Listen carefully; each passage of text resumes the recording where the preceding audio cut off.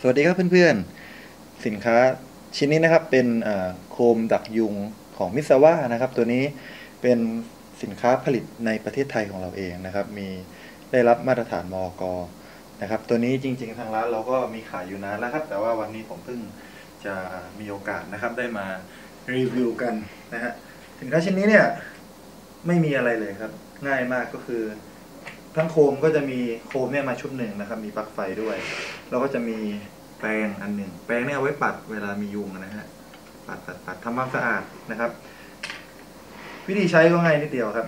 อ่าก็คือเสียบปลั๊กนะฮะเสียบปลั๊กเข้าไป แล้วเราก็เปิดเปิดสวิตช์ข้างบนจะมีสวิตช์แดงอยู่เห็นไหมฮะ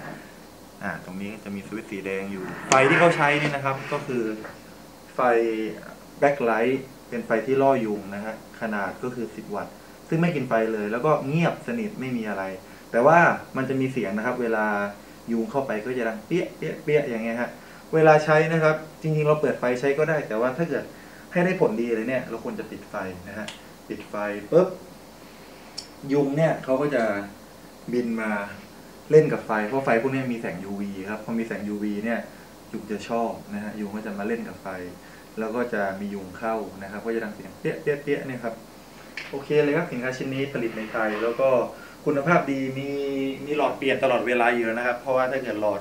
ขาดนี่ก็สามารถสั่งซื้อหลอดเราได้นะครับ เป็นสินค้าที่ขายดีของร้านอยู่แล้วเพิ่งเอามารีวิวนะครับ